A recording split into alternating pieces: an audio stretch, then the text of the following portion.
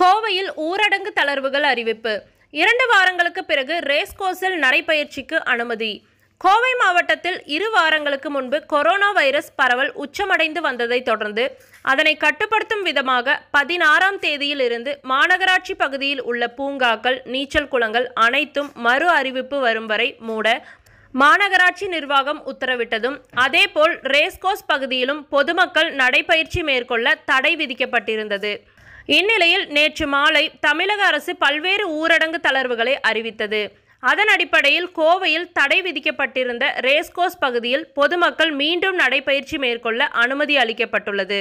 அனுமதி அளிக்கப்பட்டதைத் தொடர்ந்து இன்று காலை பொதுமக்கள் நடைபயிற்சி மேற்கொண்டனர்.